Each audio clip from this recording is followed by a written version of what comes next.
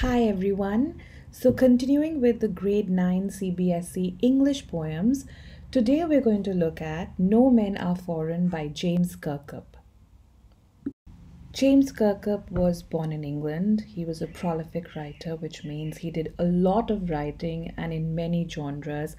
And uh, besides being a poet, he was also an accomplished drama writer. He wrote prose.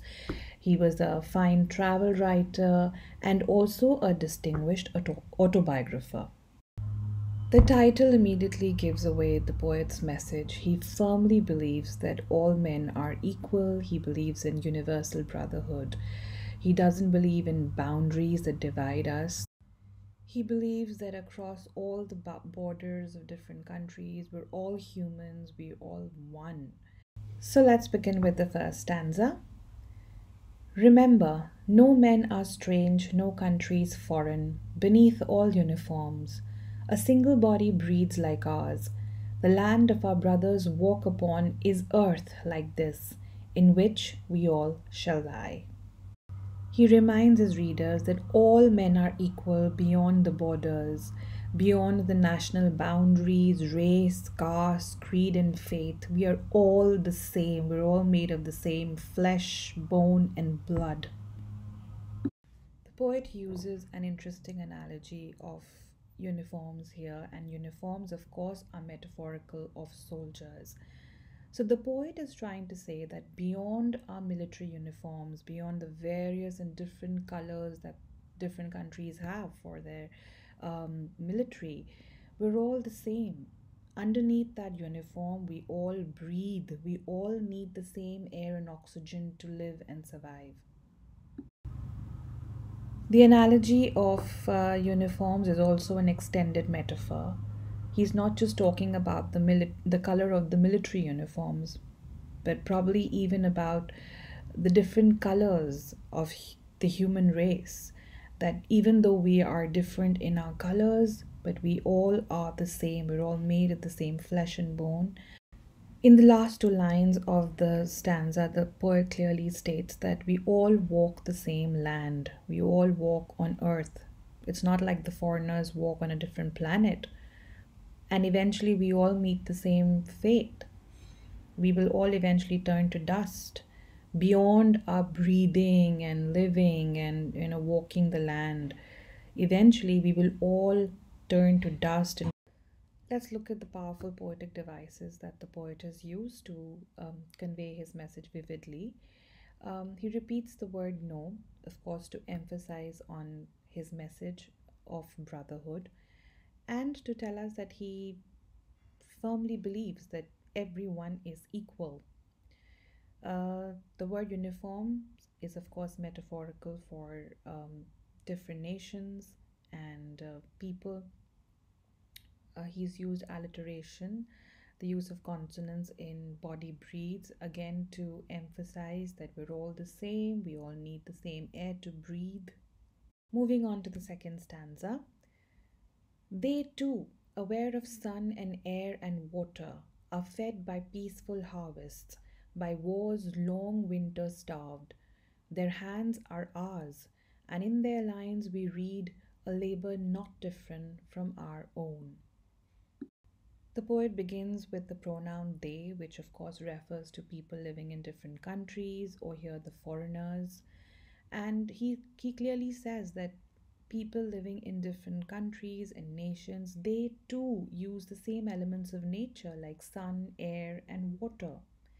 And if Mother eh, Nature can bestow upon them the same elements and give them the equal measure of everything, then who are we to divide people during peaceful times, we enjoy the fruits of our harvest. We all have the same goal to sow and to reap a good harvest.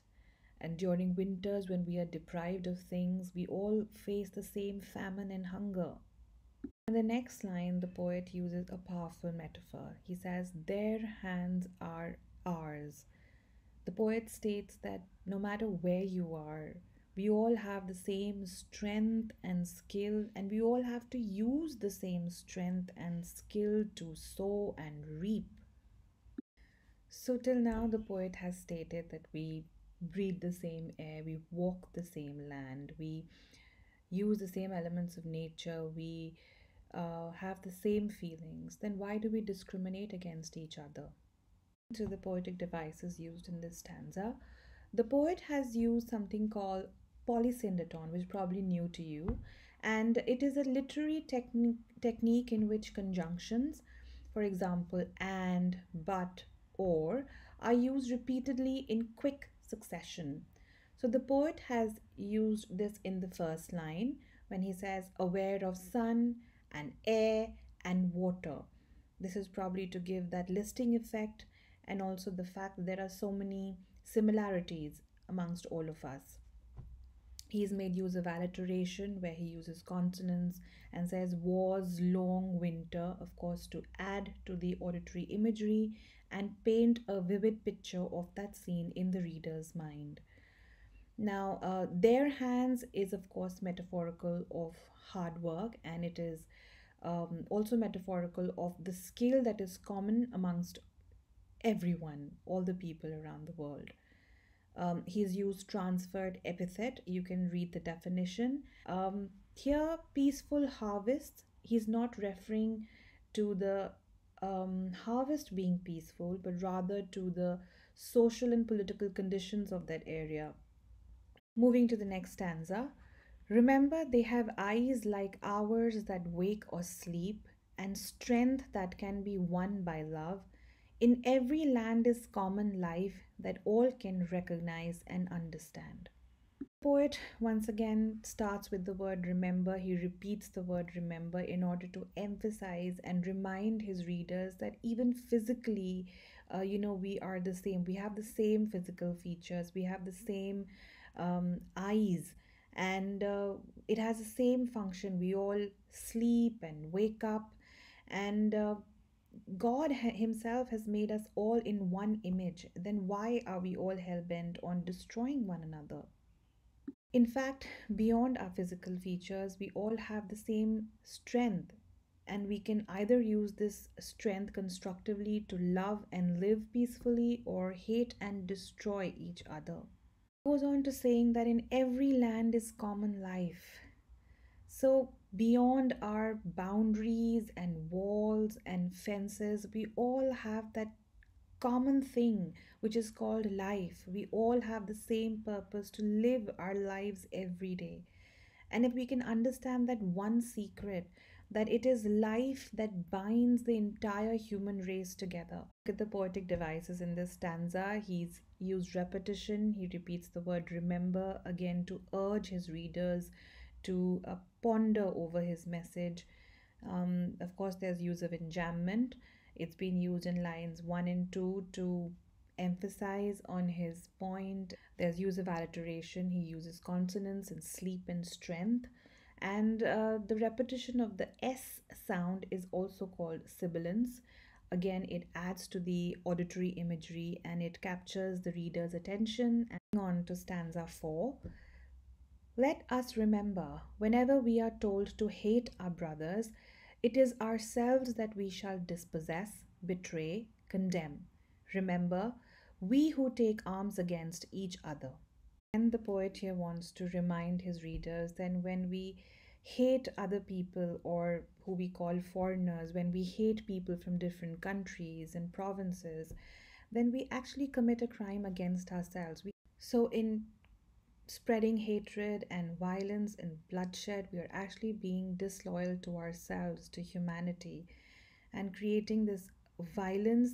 It's not just the victims that will suffer, but it's also the culprits that suffer. When you take up weapons against each other, it's the suffering will be on both sides. Talk of those legendary wars. Sometimes they just seem futile because there was so much misery and um, sadness created by those wars. It was almost like they were like crimes against humanity. The poetic devices in this stanza. Um, so the poet has used enjambment in the first two lines because he's overwhelmed and he's eager that um, to convey his message. He's used the word uh, remember once again, and uh, again to urge his readers to think about his message, to ponder over it, and um, yeah uh, he's used alliteration. Uh, he's uh, made use of consonants in we who because he wants to emphasize and on the fact that it is we. We are responsible for our own misery. Into the last stanza it is the human earth that we defile. Our hells of fire and dust outrage the innocence of air that is everywhere our own. Remember no men are foreign and no country strange Again, the poet says that when we commit crimes against each other in terms of war and bloodshed and violence, then it is the entire human earth that we corrupt and defile and pollute. Hells of fire here um, is an extended metaphor for consequences of war, which are burning, killing, bombing, and destroying literally, of course, you know, all of that has its consequences. It pollutes the air, it dirties the air. Metaphorically, of course, it creates animosity between people. It, boundaries and walls, they can't divide air. So, air doesn't belong to a particular country. This air belongs to the entire human race. And when we commit crimes against other people, we are also polluting our air. And that's what the poet is trying to say that we're all the same, we all live on the same land and breathe the same air. He ends the poem beautifully in the last two lines. He does a play on words. He changes the order of the words where he says, Remember, no men are foreign and no countries strange. Um, so this play on words is again to emphasize on his point, is to capture the reader's attention with the poetic devices in this stanza. Uh, the poet uses enjambment in lines 2 and 3, where he's probably overwhelmed and he can't figure out why humans create uh, or commit crime against each other when we're all the same. We all have the same feelings and we suffer the same pain and agony. And then, of course, he's used extended metaphor where he says, uh, our hells of fire and dust, uh, which uh, of course refer to the consequences of war. Like, hope we can all take away a little message of peace in our hearts and create that peace around us. And uh, I'll meet you next time with another poem. Until then, study hard, be good, bye.